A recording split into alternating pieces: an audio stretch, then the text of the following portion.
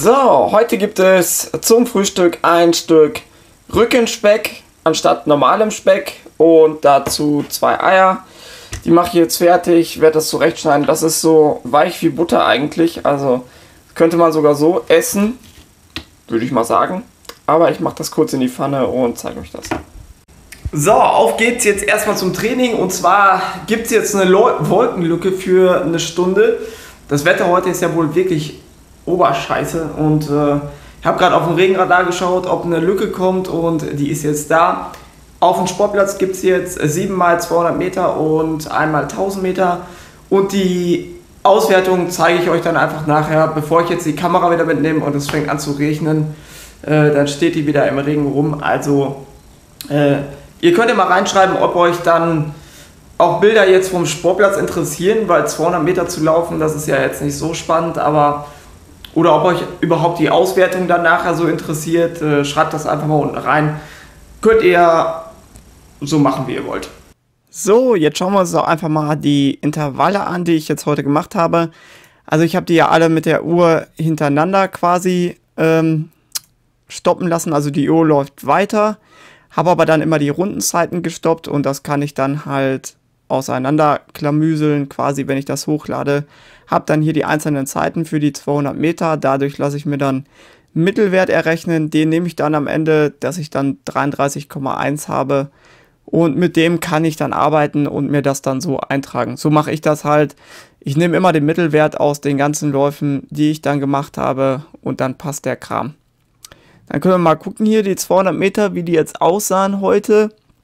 Und da sieht man eigentlich wieder das übliche Spiel, dass ich eigentlich nie oben in den Maximalbereich reinkomme, was jetzt die Herzfrequenz betrifft. Bei 200 Meter ist das natürlich noch extremer als bei 400 Meter.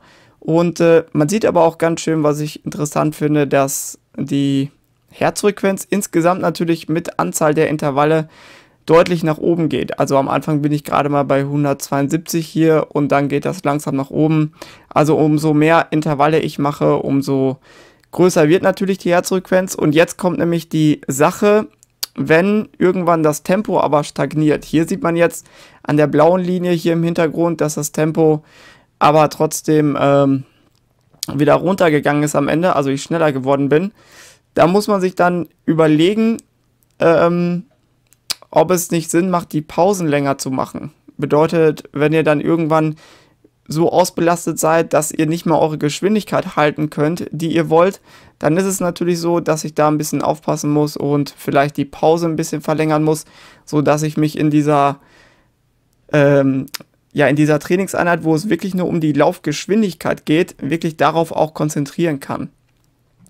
Bei den 1000 Meter Intervalle oder Intervallen sieht das natürlich anders aus. Das waren jetzt meine 1000 Meter. Das war ein Schnitt von, ich glaube, nach Schnitt sage ich schon. Also ich bin 3,22 glaube ich gelaufen.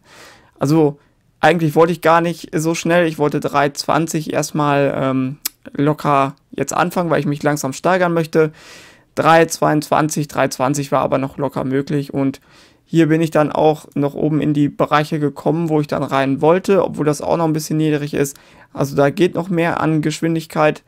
Das wird man dann sehen. Hier sieht man auch ganz schön, dass immer auf der geraden Strecke hier, dass ich da langsamer geworden bin, weil da ziemlich viel Gegenwind war. Gerade hier auch auf dem, auf dem letzten Stück und dann konnte ich halt mit Rückenwind nochmal richtig Gas geben. Aber das gleicht sich natürlich am Ende aus, weil wir auf einer Rundbahn sind. Ganz einfach. So viel auf jeden Fall zum Intervalltraining. Also den Tipp, den ich euch mitgeben möchte, ist, dass ihr, wenn ihr nach Puls trainiert und äh, Schnelligkeit macht, 200 Meter Intervalle zum Beispiel, dann solltet ihr darauf achten, dass ihr zumindest die Geschwindigkeit halten könnt. Wenn ihr nämlich gleichzeitig auch langsamer werdet, dann müsst ihr euch überlegen, ob ihr dann die Pause verlängert, damit ihr dann wieder angreifen könnt. So viel dazu. Mehr habe ich nicht zu sagen. So, ich bin wieder da. Ich sitze hier wieder in meiner stillen Ecke und ähm, ja, 7 mal 200 Meter zeige ich euch später, einmal 1000 Meter. Und ich habe mir gedacht, bevor das nachher wieder anfängt zu regnen heute Abend und ich nicht laufen kann, habe ich die 4 Kilometer nochmal direkt hinten dran gehangen. Also jeden Tag heute 4 Kilometer extra zum Trainingsplan, die ich laufen möchte jeden Tag. Und mal gucken, auch am Wochenende Ich möchte vielleicht am Samstag einen Marathon laufen in Bärtlich, Bärtlicher Straßenläufe. Äh, ich werde mal gucken, wie es mir vorher geht, wie es meinem Knie geht. Wenn ich so lange Strecken laufe, ist mein Knie noch nicht ganz vorbereitet. Da muss ich noch ein bisschen vorsichtig sein. Ähm, ja, ansonsten werde ich einen Halbmarathon dann laufen. Also irgendwas werde ich wahrscheinlich laufen. Und jetzt fängt es langsam an zu regnen, wie man vielleicht schon auf dem Dach hört. Aber mir ist gerade eingefallen, ich muss noch einkaufen. Und äh, was macht man dann als Sportler? Man nimmt sich nicht das Auto, sondern nimmt sich jetzt einen Rucksack und joggt einfach zum Einkaufen, kann wieder zurückgehen. Und dann habe ich auch heute schon meine 10.000 Schritte um halb zwei erreicht. Also läuft äh, ganz gut heute, würde ich sagen. Und wer viel Sport macht, darf auch viel essen. Das ist der Vorteil. Also, bis später. So, jetzt bin ich wieder da und äh, jetzt haben die doch tatsächlich im Lidl Kokosnusswasser in Dosen. Habe ich ehrlich gesagt noch nie probiert, äh, so in dieser Form jetzt und ich bin mal gespannt, wie das schmeckt. Wenn ihr irgendwas wisst, was man damit noch so Schönes machen kann, vielleicht einen alkoholfreien Cocktail oder sowas, dann äh, schreibt doch mal unten in die Kommentare. Solange werde ich das Ding aufbewahren und äh, mal gucken, ob man damit irgendwelche leckeren Rezepte machen kann oder vielleicht auch in Kakao oder sowas. Schmeckt bestimmt auch sehr gut, also da werde ich mal ein bisschen experimentieren, ob sich das lohnt oder nicht oder ob das dann ja einfach nur zu teuer ist. Ich werde es jetzt auch mal so machen, dass ich doch mal so jeden Tag oder alle paar Tage mal einen Kanal vorstelle, den ich eigentlich so gucke, wo ich durch motiviert werde, wo ich was rausziehen kann, wo ich vielleicht auch neue Sachen lerne und heute hier Kanal von Dominik ist, ich weiß nicht, ob er Russe ist oder sonst was, auf jeden Fall arschkalt da in seiner Bude.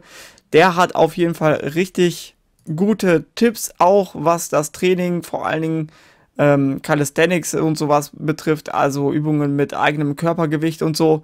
Da solltet ihr auf jeden Fall mal reinschauen, auch das Motivationsvideo von ihm. Der hat echt äh, ziemlich interessante Sachen drauf, wo ich mir dann auch mal ein paar Sachen von abnehmen oder, oder abschauen kann, besser gesagt.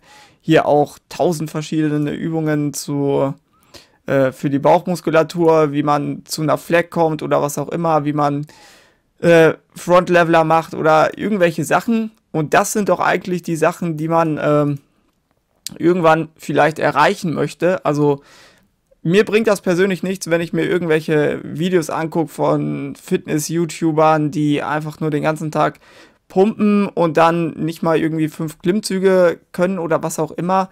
Ich möchte ja auch was mit meinem Körper anstellen können und es ist doch im Endeffekt eigentlich schon geiler, wenn man solche Sachen hier kann, einarmige ähm, Klimmzüge oder was auch immer, anstatt dass ich da 150 Kilo Bankdrücken schaffe.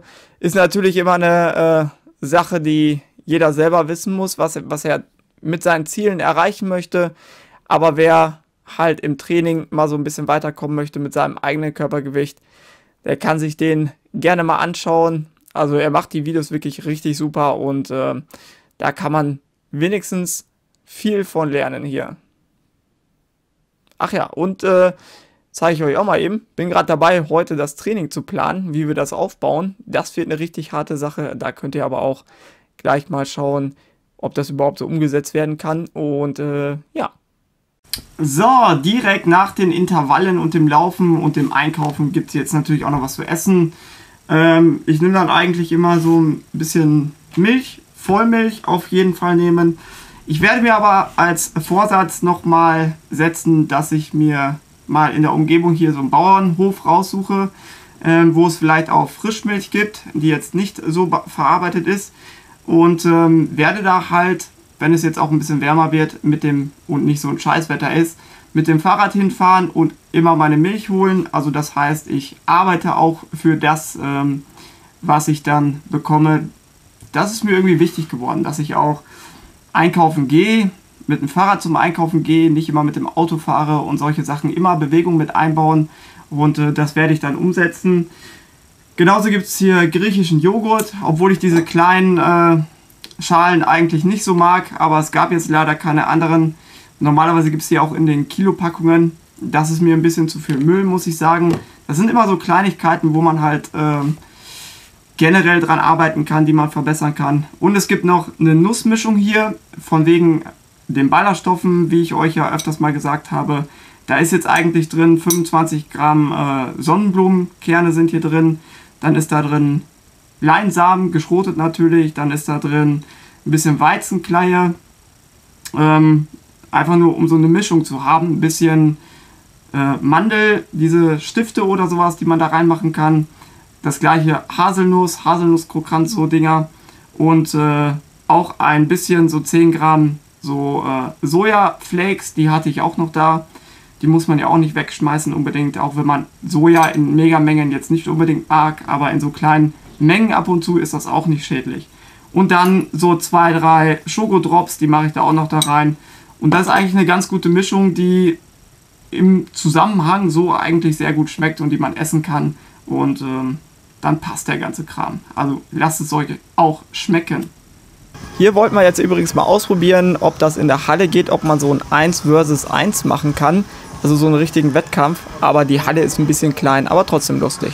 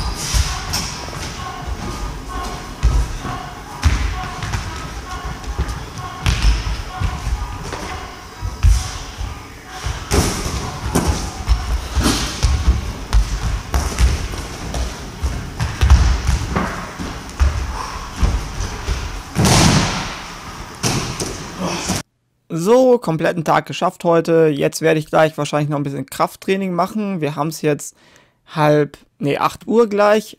Aber draußen regnet es, also gehe ich nicht mehr laufen. Die 4 Kilometer habe ich heute schon gemacht. Also jetzt noch ein bisschen Krafttraining. Aber damit ich das Video gleich fertig habe.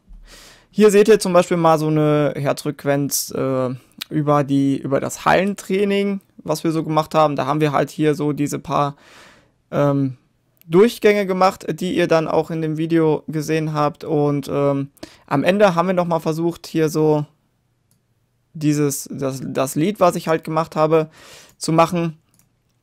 In der Halle ist das ziemlich schwierig, weil die Kurve halt irgendwann sehr eng wird. Aber es klappt eigentlich auch ganz gut. Also die Jungs sind bis ans Ende gekommen, bis an ihr Maximum und das ist natürlich dann auch wichtig. Also morgen geht es weiter. Ich denke mal, morgen werde ich mal so ein Regenerationstag nicht einlegen, sondern heute war ein Tag, wo ich den Fokus quasi gelegt habe auf Kraft, Schnelligkeit und äh, Kraftausdauer. Und morgen ist dann ein Tag, wo ich den Fokus lege auf Langzeitausdauer. Deshalb ist es im Prinzip ein Regenerationstag, wenn ich jetzt einen langen Lauf mache zum Beispiel. Das muss man dann ähm, einfach als Regeneration sehen. Da werde ich die ganze Zeit halt im GA1, GA2 Bereich maximal laufen und auch nicht weiter darunter oder darüber.